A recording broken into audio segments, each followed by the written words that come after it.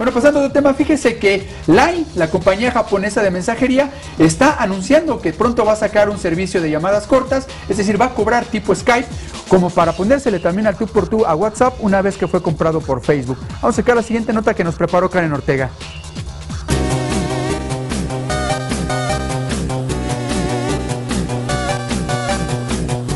Plataforma de mensajería instantánea Line no se duerme en sus laureles y al son de la frase evolucionar o morir nos trae dos nuevas noticias con las que pretende satisfacernos en todos los aspectos posibles, mostrándose más atractiva cada día.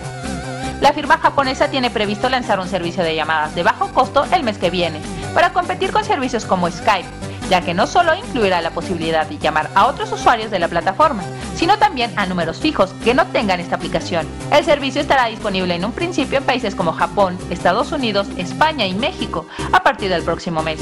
El servicio está basado en datos de red que tienen la intención de bajar los precios de las llamadas realizadas a través de líneas típicas. Los precios rondarán los 6 centavos de dólar por minuto, con la opción de pagar por llamada o por mes y permitirán establecer comunicación con números nacionales e internacionales. Junto a esta novedad, la compañía ha decidido lanzar una tienda llamada Line Creators Maker, donde los usuarios podrán vender sus creaciones originales de sus stickers a los usuarios de la aplicación. Se trata de un nicho de mercado donde la empresa factura ya 20% de sus ingresos anuales, por lo que podría ser una táctica de la compañía para lograr que este volumen de negocio crezca más en el futuro.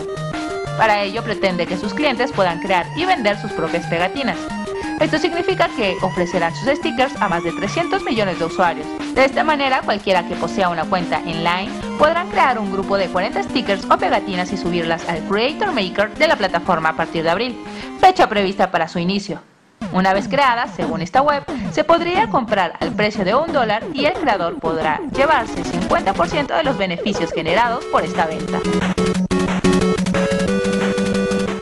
Te invitamos a seguir cuestionando la información con los siguientes videos.